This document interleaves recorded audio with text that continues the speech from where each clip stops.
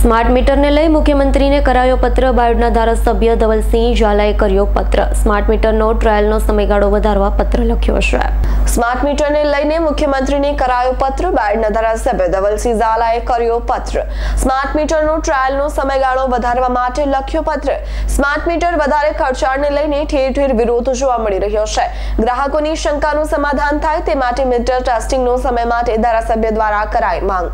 માન્ય મુખ્યમંત્રીશ્રીને પત્ર લખ્યો છે, ટ્વીટ કરીને જાણ કરી છે કે જે રીતે અત્યારે સ્માર્ટ મીટર લગાવવાથી આખા ગુજરાતની અંદર લોકોના મનમાં એક અસમંજસ છે, એક બુમરાહો ચાલી રહ્યો છે કે સ્માર્ટ મીટરની અંદર બિલો વધારે આવી રહ્યા છે. આ પ્રકારની ખોટી વાતો જે થઈ રહી છે, એને અનુલક્ષીને મેં સમય મર્યાદા વધારવા માટે અને એક બે સૂચનો સાથેનો પત્ર લખ્યો છે. પત્રની અંદર મેં સ્પષ્ટપણે કીધું છે કે જે રીતે મીટર આપણે ત્રણ દિવસ બંને મીટર રવા દઈએ છીએ, એની જગ્યાએ આપણે સાહીઠ દિવસ માટે રવા દઈએ, એટલે કે બે મહિના માટે.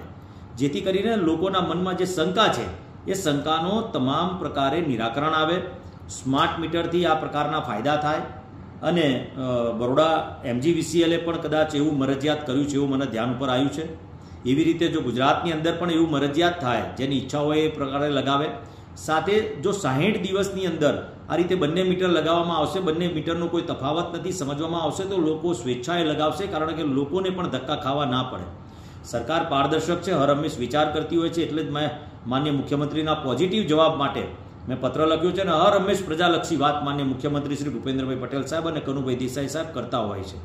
એવા સંજોગોની અંદર મારી રજૂઆત છે અને એમને ધ્યાન દોર્યું છે, મેં પત્ર લખીને, કે આ પ્રકારની વાતથી ચોક્કસથી ફાયદો થઈ શકે છે. સાથે એવી પણ કોઈ યોજના આવે, જેમ કે મોબાઈલની અંદર આપણે વર્ષનું રિચાર્જ કરાવતા હોઈએ છીએ, તો જે ત્રણ મહિનાનું મહિનાનું રિચાર્જ હોય છે, એના કરતાં સસ્તું પડતું હોય છે.